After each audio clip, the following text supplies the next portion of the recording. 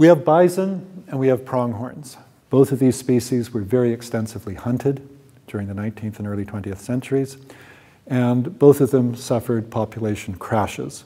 The only reason that they're still with us today is because of the intervention of people like Theodore Roosevelt. Teddy Roosevelt, as a convinced conservationist, was very concerned about the fate of bison. What he'd seen in his own lifetime out west was that these huge herds had been reduced to a few scattered individuals. It was a real concern by the mid 1880s whether bison would survive at all. They'd been brought down from millions and millions of individuals in the early part of the 19th century to probably just a few hundred by the 1880s. Roosevelt organized the Boone and Crockett Club, which took up the cause of the bison as one of its major prerogatives.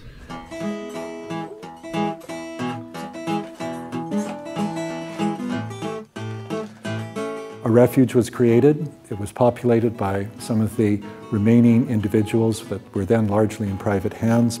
They managed to create a herd out of surviving animals living both in the US and Canada.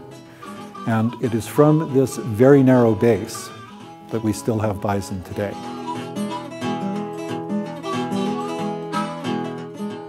With the pronghorn, it's a very similar kind of conservation story.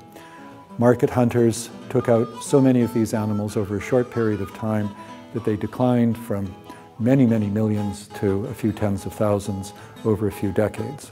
A similar thing was done to ensure that the surviving animals were kept in good conditions in refugial areas, and from that base, we now have pronghorns existing once again throughout the western part of this country. And what this diorama is meant to signify is that even though these animals almost reached the brink of extinction, we brought them back. And we brought them back through care and consideration and conservation activities of the sort that are going to make it possible for animals of all sorts to survive in future.